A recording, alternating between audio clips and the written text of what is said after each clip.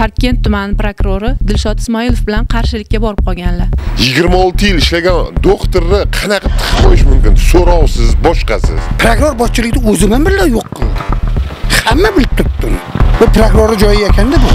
Prokuror joyi. Prokuror xohlaganini qilaveradi endi. Tuhmatman qamatyapti. Yana itdan qolgan ovqatni berilaring, uydan kelganlarga ovqat bermadyapti. O'sha kuni qamagan kuni.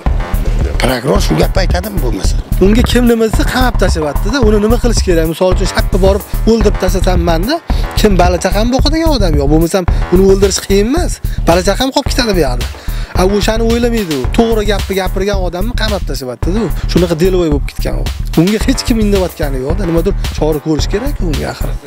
Adolat yuzaga chiqishini tarafdori biza. Biza xodimlarimiz hammamiz tez yordam bo'limi butun rayon hammamiz shu tarafdori biza. Umuman Alloh oldida ham o'sha inson javob beradi o'sha prokurormi boshqami? Bola chaqasi bordir. Assalomu alaykum. Man qishloqda yashovchi musulmon abdunazar bo'laman. Shu qishloqdoshimiz nazar ulug'bek to'shda kelgan ekan qamalib qolgan ekan. Biz buni qamalishiga man o'zim hech bir ishonmayman. Nimaga deganda man yoshligimdan ularni ota onalarini do'dalarini tanirdim. Bular biron paytda bir harom luqma yeganiga man o'zim kafolat berolmayman. Endi kimdir bunga adovat qilib qanaqadir adovatli bo'lib birontasi yozgan bo'lsa boshqa bo'lsa bo'lsa buni endi o'zinglar tekshirib yaxshilab ijobiy tomonga haqiqatni topib halol qilishinglarni so'raymiz sizdan. Mana shu qirq sakkizinchi xo'p poliklinikasida hamshira bo'lib ishlayman. qirq sakkizinchi xo'p poliklinikasini qurilishida mana shu glavvrachimiz g'o'ibnazarov ulug'bek akamni xizmatlari rasakotda yaxshi ishlar qilgan. Mana binolarimizni qurib berdi hamma sharoitlarimizni yaratib berdi. Uzi apparatlar olib keldi yangi ekg apparatlar olib keldi. Mana shu tibbiyot xodimlarimizni yaxshi ishlashida e, namunali o'rinlarni olgan hech qanaqa biza ulug'bek akamdan anaqa ko'rmaganmiz ulug'bek akam hammaga namunali glavrach bo'lgan. Biza minnatdor biza agar kimda kim mana shu ulug'bek akamga nohaqli ayb qilib anaqa qilgan biza biza bunga qarshi biza markazimiz ishga tushdi skoriyimiz oldin eski binoda suv oqib yotardi ustidan tomib eski anaqa skoriyimiz damasimiz ham eski bo'lardi. Hozir o'sha ulug'bek akamni orqasidan yangi damaslar berildi. Man ulug'bek akamni o'zimni otam deyman. Xalqim yurtim deb jon kuygan insondan insonlar ulug'bek akam.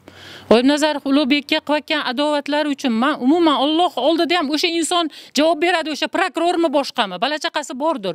Lekin mashti gullab yashnashida man otam deb o'zimga oldimmi? Xudo tepada Alloh bor.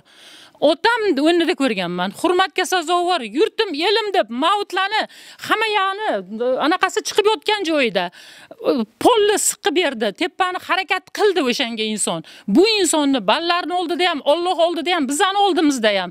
Yerga urishlariga man umuman qarshiman o'zim doktorman hozir mana bunaqa kiyimdaman ahvolim ozgina lekin ulug'bek akamdek chin inson ballaridan ham burun ishni yuzaga chiqargan inson man bunaqa insonni man hech qayerda ko'rmaganman.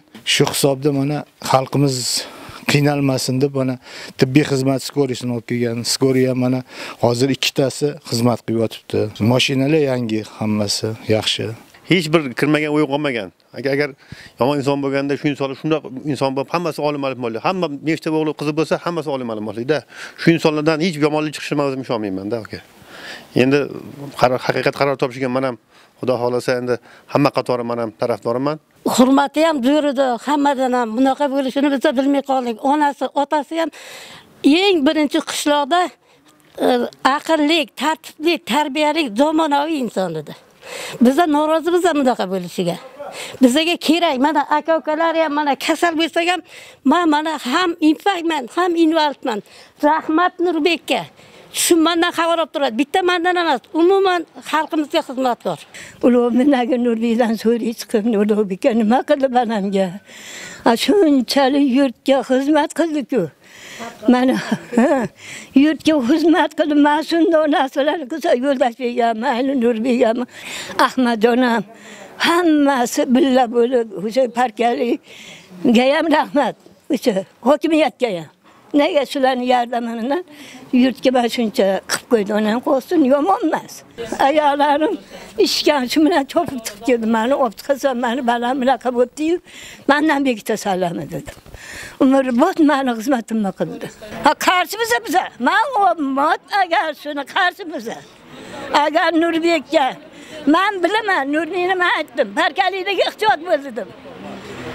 Man o'zim bilaman ko'raman. Qobimda man hozir 3 kilometr daladan atigi shu narsani eshitib tushib keldim. Shu odamni man o'zi xalqqa yig'ib shunaqa narsani bir taqib qilmoqchi edim. Shu odam shunaqa chestniy odam xalqqa yordami tekkan yomon odam bo'lganda biza yig'ilmasdik bu yerga mana shu kollektiv hammamiz shu yaxshi odamligi yaxshi insonligi uchun xalqqa yordam tegayotganligi uchun mana shu hammamiz kelib mana shu yerda yig'ilib turibmiz u odamda hech qanaqa bir yomonlik ko'rmaganmiz kuyunchak odam edi.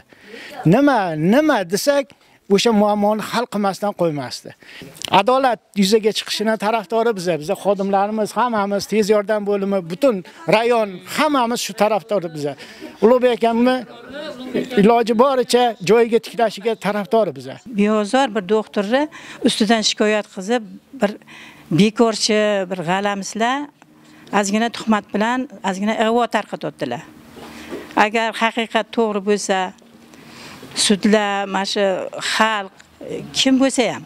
Elni yurtini xizmatini xalqini mana shu o'yini rohatini ko'rmadi. Man o'zim bilaman shu balani ko'chada o'tib ketdi umri doktorda o'tib ketdi. Больницада kim apparatda bo'lsa o'shani oyog'ini tagida yotib o'tib ketdi. Yana ustiga ustak bu bolaga tuhmatni eshitib man ham o'zim necha kundan beri uyda uxlaganimni ham bilmayman yotganimni ham yeganimni ham. Manga bir oddiygina ukam hisoblanadi u bola. Qarindoshim ham emas boshqam ham emas endi nohaqlikka men o'zim chidolmadim bizaga ham to'g'rilikni halollikni o'rgatgan ishidan kirganlarga yaxshi muomala qilishni ishimizda halol ishlashimizni o'rgatgan. Hech qachon bunaqa nopok ishlar qilishiga ishonmayman man. Bu ishlarni hammasi ig'vo bo'lsa kerak. Bunaqa ish hech qachon qiladi deb o'ylamaymiz biza. Biz yigirma yildan beri bunaqa nohaqlik bir noto'g'ri gap gapirganini noto'g'ri harakatini ko'rmaganmiz hech qachon. Bu ig'vo bo'lsa kerak. Haqiqat baribir yuzaga chiqib xudo xohlasa yana kollektivimizga qo'shilib ketadi. Deb umid qilaman biron marta yomon ishlar qilganini eshitmagan biza. Biza o'sha muhtaram prezidentimizdan ichki ishlardan mana shu bosh prokurorlarimizdan hammasidan iltimos qilardik mana shu ishni haq halol qilib adolatli xalqqa berishlarini so'rardik men rustamova nodira imomqulovna mani xo'jayinim g'oyibnazarov ulug'bek kalonovich ikki ming o'n sakkizinchi yil dan buyon e, parkent tuman ttbga ya'ni e, parkent tuman glavvrach bo'lib ishladilar bosh vrach bo'lib ishladilar bu vaqt mobaynida parkent tumanida deyarli to'rtta yoki beshta ta qop qurildi. Shu qop qurilishi vaqtida changi qishlog'imizga qurilgan qopni xatoliklari juda ko'p edi. Mani xo'jayinim juda ham haddan tashqari talabchan hammasini o'z vaqtida topshirishni xohlaydi hammasini sifatli qilib topshirishni xohlaydi. Sifatsizligi uchun qabul qilmaganligi uchun prokurorimiz bilan parkent tumani prokurori dilshod ismoilov bilan qarshilikka borib qolganlar. Talab qilganliklari uchun o'sha xalq uchun harakat qilganliklari uchun qarshilikka borib qolganlar. Shu sababli ikki ming o'n to'qqiz ikki ming yigirma birinchi yil vaqt ichidagi hamma dokumentlarini e, tekshirtirish uchun prokuror o'zi yollaganmi? Nima sabab bilmayman o'rtoq prezident. Mani xo'jayinimni bir yuz oltmish yettinchi jinoyat kodeksi bilan qamab qo'yishdi. Bu nohaq hammasi nohaqlik bilan kelib chiqyapti. Avvalo prezidentimiz sizni qarorlaringizga binoan ishladi. Faqat sizni qarorlaringizni amalga oshirish yo'lida jonbozlik ko'rsatdi. Tunlari uxlamasdan soat uchda keldilar vaqti kelsa. Covid paytida o'n to'rt kunlab yigirma to'rt kunlab karantinga tushib qoldi lekin o'sha karantinga tushib qolgan joyida ham hammani hammani telefonda boshqarib turdi. Butun tumanni. Kerak bo'lsa oblastga chiqadigan kasallarni ham hammasini o'zi o'z ko'zim bilan ko'rdim shularni. O'zim shohidman kechqurunni kechqurun demadi kunduzini kunduzi demadi. Biz hozir bosh prokuraturaga ham arz qildik. Sizdan sizgacha bo'lgan hamma joyga arz qilib chiqdik. Lekin amaliy yordam ko'rmadik. Sizdan iltimos qilib so'raymiz. Bizga yordam berishingizni so'raymiz. Mana 1 oktyabrdan beri mani xo'jayinim nohaqlarcha qamoqda o'tiribdi. Xo'jayinimga bo'layotgan tuhmatlarni hammasini mana shu prokuror bilan qarshilikka borganligi sababli bo'lyapti. Shu shuni tepadan yana qayta tekshirish o'tkazishinglarni va xo'jayinimni noto'g'ri tekshirish noto'g'ri tekshirish olib borib xo'jayinimni ustidan noto'g'ri e, sud qarori chiqarilib qamab qo'yganligi uchun chora ko'rishinglarni so'rayman. Men g'oyitmazarov g'olibboy parkent tumani hisarak qishlog'ida quyosh qo'rg'oni Issiq suv ko'chasida 3 uy turaman. G'oyitmazarov g'olibboy shu parkent tumanida bo'layotgan ishlarni hammasi mana shu glavvrach sohasida ishladi ulug'bek akam g'oyitmazarov ulug'bek. Shuniga bo'layotgan adolatsizlikni o'zim boshida turibman. Bu narsa doktorchilik pandemiya paytida xullas qattiq ishlagan odamni bir shaxsiy adovati bo'yicha bir ulug'bek akam bilan gaplashganimda aytib qoluvdi. Mana shunaqa prokuror bilan shunaqa tortishuv bo'lyapti nima qilay yo bunaqa ish to'g'ri kelmaydi deb man ham o'zim to'g'ri maslahatimni bergan edim. Shaxsiy adovati masalasida bu prokuror onangni deb so'kkan akamni akam ham uni e, buqqan. Lekin urushmagan.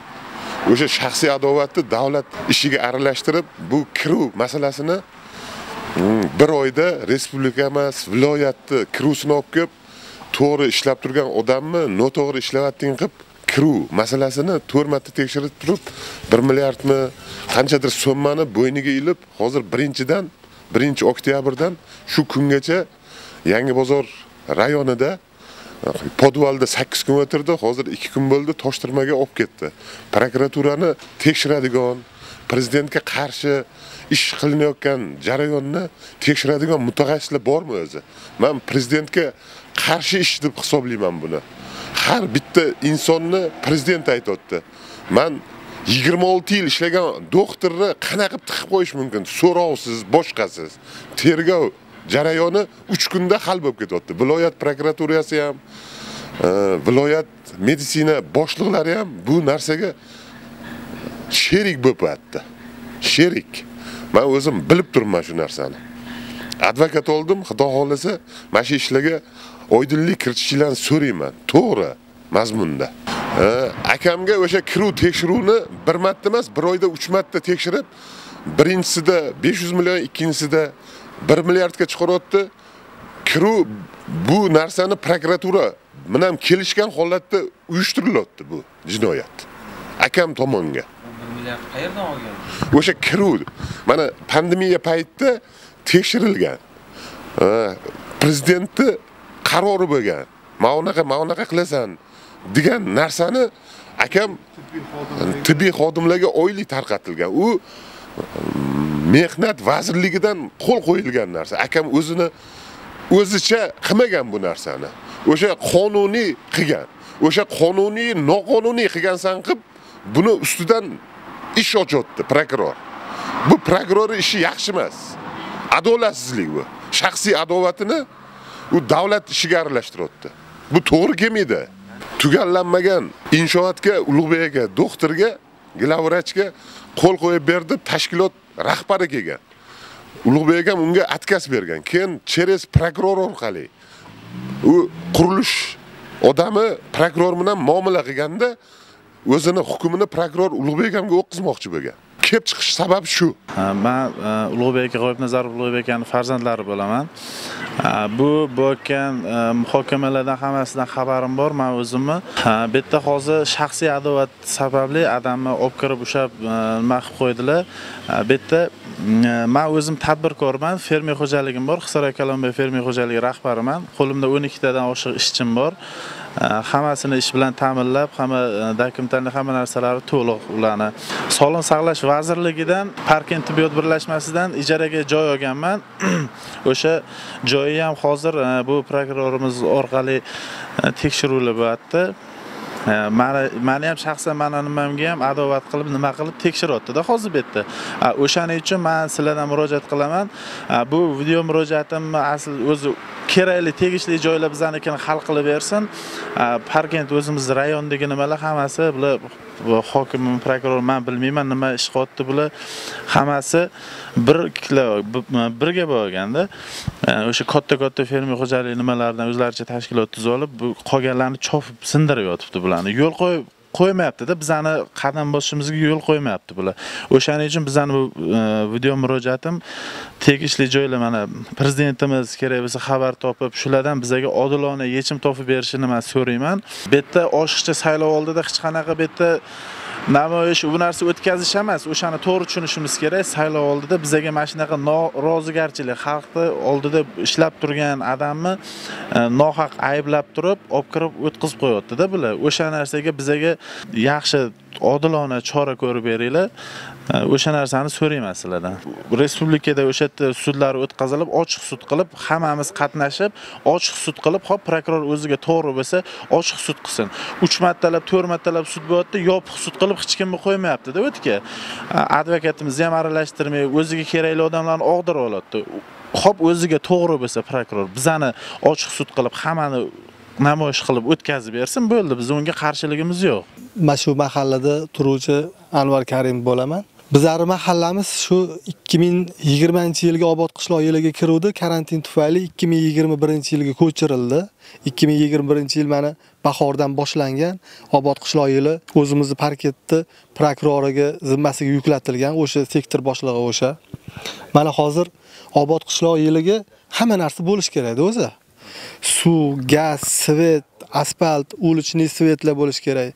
Bulardan hozir mana bizlarni asosiy ko'chamizni o'zini качественный bo'lmagan bu ham. Nomiga asfalt qilib ketdi. Yuqi qilib bo'ldi. Boshqa hech qanaqa ish bo'lgani yo'q. Suv misol uchun suv chiqargan vantdan 3 milliard pul ajratgan suvga. U hozir misol uchun qanaqadir mexanik bir tushunadigan odamni olib kelib qildiradigan ko'rsatadigan bo'lsa u yerda 1 milliarddan pul ketmagan. Chunki hamma odam aql yetadigan darajada bo'lib turibdi o'zi suv sho'r. Suv olib borib ekspertlar bilan tekshirtirdik. Ichki noloyiq suv. Уличныйlar yo'q mana. Kechki payt misol uchun soat 5 ta 6 ta o'qiyapti farzandlarimiz. Kelayotganda kun qorong'i bo'lib ketadi. Bu yerda chiya bo'ri ham bor. Misol uchun yovvoyi itlar bor. Hamma narsa yuradi. Bu buyog'i dalada keyin undan tashqari gaz yo'q gaz yo'q. Transformator qo'yilmagan. Ishonasizmi? Mana mana shu territoriyaga transformator qo'yilmagan. Вообще boshqa joydagi transformatordan olamiz. Svet uchish muammosi постоянный bo'ladi. Gaz yo'q svet yo'q. Tasavvur qiling. Hayot o'ldi shu mana. Farzandlarimiz nima qilyapti? Qanaqa dars qilyapti? Biz qanaqa yashayaptik? Qiyinda xullas. Yo'llarimiz keladigan bo'lsak mana yo'llarimizni ko'rib turibsiz. Mana mana shu главный asosiy yo'limiz asfalt bo'lgan. Unda ham qoniqarsiz sifatsiz bo'lgan. Mayli unga ham.